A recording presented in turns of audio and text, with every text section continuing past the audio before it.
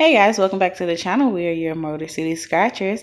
And I want to just show you guys that tonight, Mr. Motor City, he bought two of the new $5 peppermint payout ticket number 76 and 75.